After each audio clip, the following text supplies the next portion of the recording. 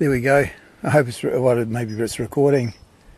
So there we go, folks, in the pool, Kevin Cefn Isaf. Wow. Yep. Go to Portugal. Go to Spain.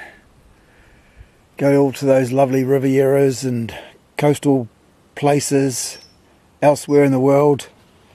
But no, here we are, 35 degrees in the pool at Cefn Isaf. Ikeda. da. Wow. Yep. It's hard on the land and the nature, but got to enjoy it because the fridge is coming. the rain is coming and the fridge is coming. So just chill out and enjoy.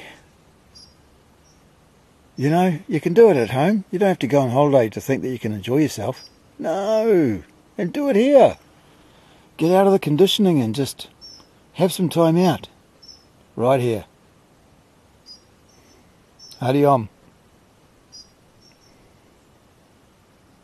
Woohoo!